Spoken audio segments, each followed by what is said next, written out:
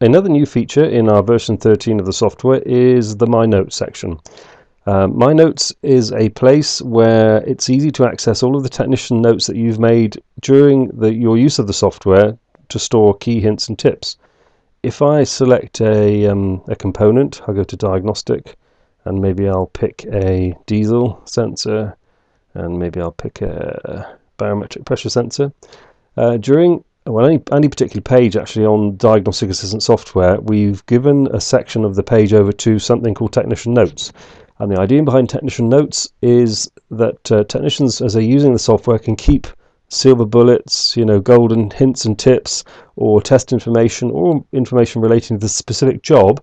In uh, they can open this box up and uh, put some free text in there, edit that software, put their own notes in there, and uh, essentially that lives inside the software, but it's updatable and it's customizable by the technician to suit their individual needs. Incidentally, any technician notes that are made transfer uh, between versions. So, if, for instance, you own version 12 of Diagnostic Assistance and you've upgraded to version 13, all of the notes you make in version 12 are transported into version 13 during the install. So, your technician notes really grow with your use of the software. So what we've done new for version 13 in Technician Notes, if I click on the My Notes, is we've made a new section that enables us to recall all of the notes we've made. So for instance, you can see there's a new table in this new page, My Technician Notes, and the table's listed topic ID, and these relate to the page that the uh, test data stored. We put a rating note in there, and the rating is a self-rating from yourself, which uh, enables you to put, you know, those killer tips at the top, and then the tips which are useful, mm, you know, maybe you want to refer to them, you can rate those at a lower number. The My Technician Notes table then sorts those by the rating, and so at the top we can see I've got some pretty cool ones, and then down the bottom I've got some, um, you know, lower priority ones. Uh, you'll see one that's not set. That's obviously lower than a priority one, and that sits right at the bottom. The other thing we can notice is that the technician notes gives you a summary of the text that's in that box we just looked at. Uh, what we've done for version 13 also is we've enabled you to color code the notes very simply and easily. Um, and the color coded notes we we've um, designed that to enable you to put perhaps um, you know mechanical ones in green we can put electrical ones in red and you can put uh, you know just cool silver bullets maybe in, in the brown color and this enables you to put multiple notes on the same test, but obviously to categorize them into the areas that you want to.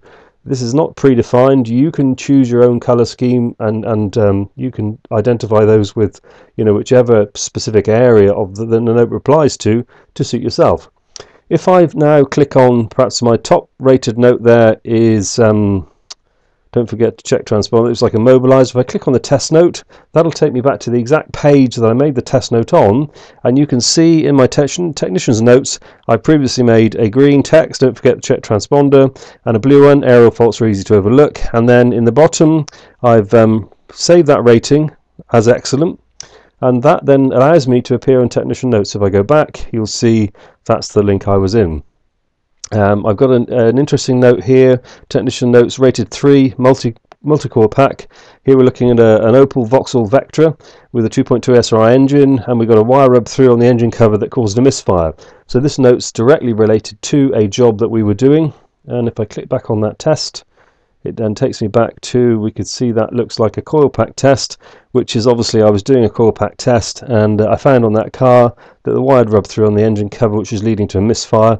And that enables me to, you know, to use these notes to keep track on jobs and historical faults that I've had, which will save me time in the future. And they're obviously all summarized in technician notes. Technician notes can be added to, they can be deleted, but the key thing is they're updated from version to version.